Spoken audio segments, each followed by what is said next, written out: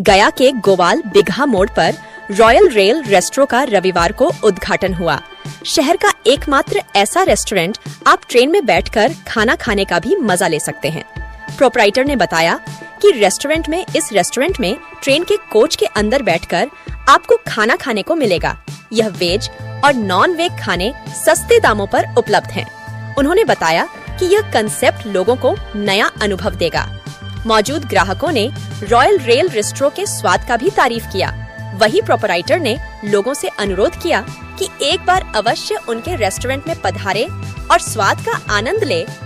पहला थीम है रेल के जैसा बनाया हुआ गया के कॉन्सेप्ट में। अभी तक हम पूरा बिहार में ऐसा कहीं नहीं है।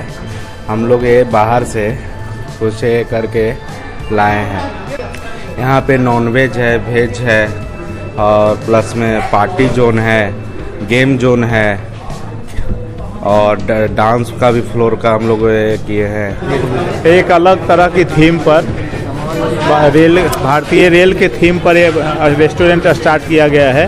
और संभवतः गया शहर में पहली बार है, और पूरे बिहार में इस तरह का नहीं है। यहाँ अलग अलग व्यवस्था भी है। ज़रूरत के अनुसार आप बुक कर सकते हैं।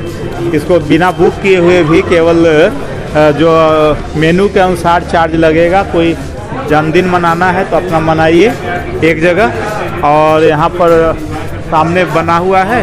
इस पर अपना बर्थडे मना लीजिए और किसी एक रूम में बैठ जाइए। वहाँ का अपना मेनू के अनुसार जो थाली का चार्ज होगा वही लगेगा। अलग से कोई चार्ज नहीं लगेगा।